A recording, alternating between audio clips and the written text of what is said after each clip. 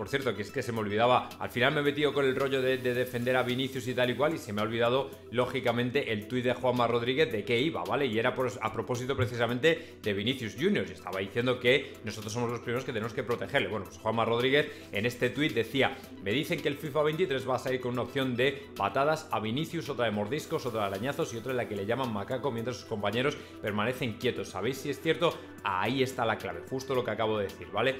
Si nosotros no somos los que en cada tangana, en cada patada, en cada entrada, no nos tiramos encima de los rivales, Evidentemente, ¿cómo vamos a proteger a Vinicius Junior? ¿Cómo vamos a pedir eh, protección para un chaval que está completamente ah, huérfano de ayuda? ¿Me entendéis? Huérfano de calor de sus compañeros. No puede ser, ¿me entendéis? Y esto es un palo, lógicamente, que Juanma Rodríguez en mi opinión le lanza a los jugadores del Real Madrid para hacerles entender que hay que estar ahí. El vídeo que os pasé ayer, en el que se ve a Sergio Ramos defendiendo, me parece que era Morata, a Morata, que estaba en el suelo, frente a un jugador del Deportivo, cuando se lanzan todos como una manada de locos es lo que hay que hacer, es protegerse, ¿me entendéis?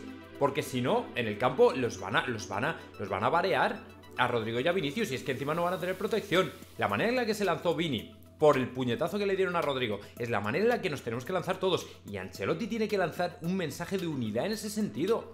De decir, oye, vamos, el resto, o sea, han tirado a vuestro compañero ahí, ¿qué hacéis? Mirando para, para... No, no, irá por él, irá a comeros a quien haga falta. Porque si no, si no nos defendemos entre nosotros, entonces esto no, no va a ir a ningún sitio. ¿Me entendéis?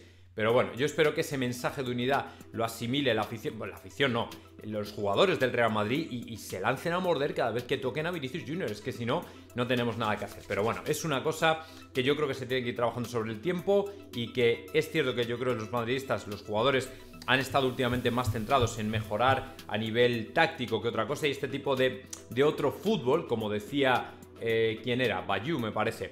Este tipo de, otras cosas que tiene el fútbol, ¿vale? De no futbolísticas, son las que tenemos que trabajar más. Pero bueno, calma.